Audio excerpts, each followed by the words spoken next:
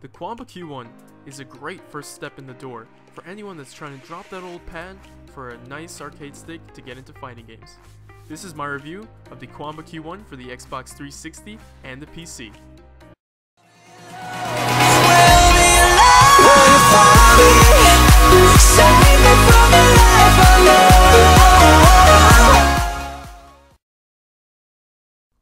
One thing to note about the Q1 is the fact that it's got authentic Qanba stick and Qanba buttons. They're not Sanwa, they're not Kuro, so that's definitely something to take into consideration. Now in terms of the Q1, you can go with the white or the black.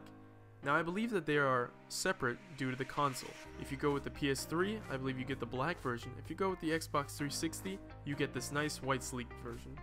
Something that I mentioned earlier, it is both compatible with the Xbox 360 and the PC or if you choose to get the PS3 and the PC version. Something to note is the fact that it's been confirmed that at EVO, PS3 arcade sticks will work with Ultra Street Fighter 4 for the PS4. So if you were looking for a stick, look no further because you can get a great price and something that works for EVO. On the left side of the stick, you'll see the compartment for the cord. The cord is not too long, but it's just enough if you're playing locally console or if you're playing at your PC near you. At the top left of the arcade stick, you'll notice that you have a start button, home button, turbo, mode, and select.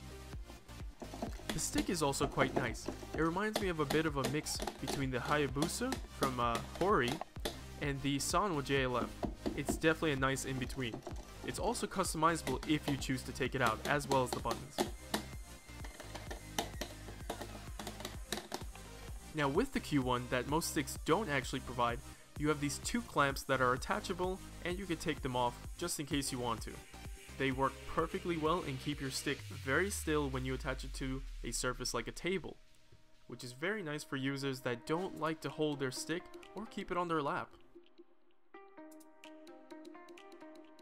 On the bottom, one benefit that you'll have with the Q1 is that you get to have these rubber paddings that keep it still, so if you're playing on your desk or on your lap, chances are you're not going to have to worry too much about your Qanba Q1 sliding off and possibly falling or breaking. One of the first things that you'll notice about the Qanba Q1 is the size. It's quite a bit smaller than the average arcade stick. Here's a quick overview of the difference between the Q4 and the Q1.